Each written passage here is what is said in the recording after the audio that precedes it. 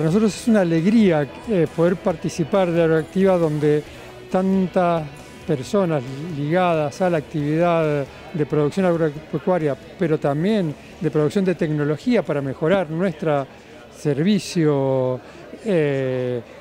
productivo, nuestro servicio de integración con el mundo, desde la producción agropecuaria, se reúnen en un mismo lugar. Y estamos en un pabellón en que este año por primera vez se ha invitado a las universidades y bueno, también a, las embajadas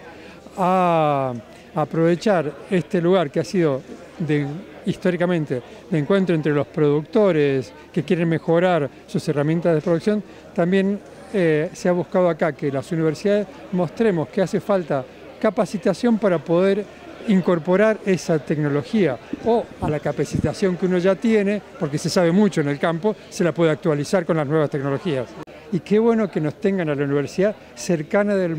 al mundo de la producción. O sea, yo, estoy muy contento de haber sido invitado aquí y haber podido también como universidad ayudar a hacer puentes, no solo entre los productores, sino puentes también con los nuevos mercados que se quiere abrir, con las nuevas posibilidades que los argentinos nos podemos dar. La formación de personas es clave, es la formación continua. Esa ha sido la, intención de la universidad este, en esta agroactiva, de venir a acompañar. Eh, está presente la Escuela de Negocios, está presente la Facultad de Ciencias Agropecuarias con con sus carreras de grado, de posgrado y también está presente lo que llamamos formación continua eh, que ofrece cursos y demás. Eh, la idea es poder compartir, poder interrelacionarse con otras universidades y con el sector productivo. Estos espacios creo que son ideales para eso, para compartir, para ver qué se está haciendo, surgen ideas, encuentros, personas, eh, un excelente momento de reunirse. Nosotros ya hace años que venimos participando de distintas exposiciones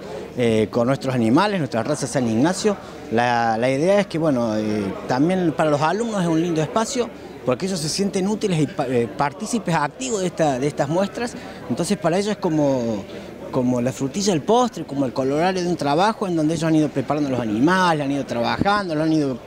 ver crecer y bueno, entonces eh, para ellos es, muy interesante también participar en estas muestras.